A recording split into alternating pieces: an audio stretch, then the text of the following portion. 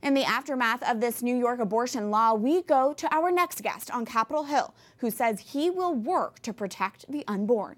Newly elected Senator Mike Braun of Indiana joins us now. He is the only Catholic freshman in the U.S. Senate. Welcome to the show, Senator. Well, good to be on. It's good to have you. Senator, we just saw New York State pass an expansive new abortion law on the anniversary of Roe v. Wade. What are actions that you and other pro life senators can do at the federal level to protect human life?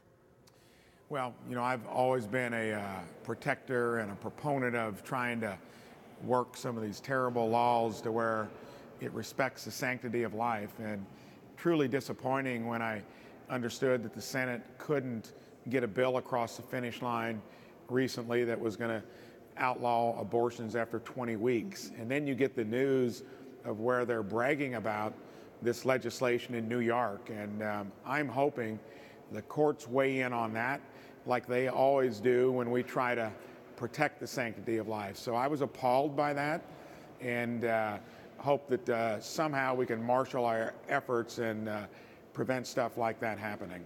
Absolutely. Senator Steve Daines recently announced the creation of a pro life caucus in the U.S. Senate. How significant do you think that will be, and what's your reaction to the news?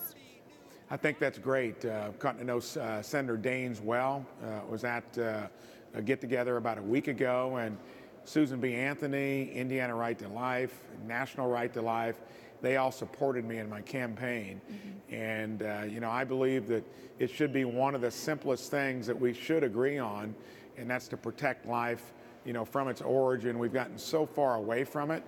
But I think with the leadership of Senator Daines, uh, somebody like myself that is an added recruit, maybe we'll start making true headway. This is the first time we've welcomed you onto EWTN Pro Life Weekly. Can you tell our viewers why is the pro life issue important to you? Well, I grew up in southern Indiana, and I think I come from the most Catholic county and small town in Indiana. Uh, 8,000 people when I grew up, 16,000 people now, and we have three large parishes within the community. Uh, you know, it was raised in a way that you respected life, and you know, I uh, did everything I could as a state legislator to promote it. And I think it should be one of the simplest things that we all agree to. And uh, it was mostly my roots. Uh, you know, from an early age, I was taught that uh, God given gift, respect life. Mm. Senator, when you were elected, you ousted former Senator Joe Donnelly. He is Catholic and also identified as pro life, though voted in favor of abortion at times. What do you think your election tells us about American attitudes towards abortion, particularly those in the state of Indiana?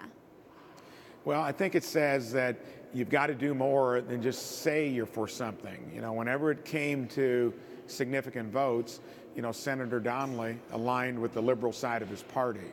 Uh, I think it says that, you know, we need to be outspoken about something that's so important. And uh, I think that if you come from a state like Indiana and you say one thing and do another, uh, you should pay that uh, consequence. And uh, for me, it'll be an easy thing to do, uh, and you can count on my trying to promote life every step of the way.